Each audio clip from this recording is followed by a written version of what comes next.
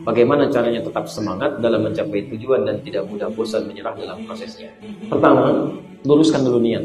Kalau sudah niatnya lurus, maka setiap menghadapi tantangan, itu kita akan semakin kuat untuk bisa mengatasinya.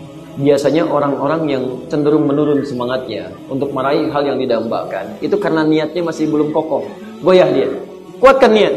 Setelah itu, buat perencanaan. Dengan perencanaan itu, maka kegiatan Anda lebih terarah. Setelah itu pelajari tantangannya. Lihat, karena setiap apa yang akan diraih dari kebaikan pasti akan menemukan lawan sebagai tantangan.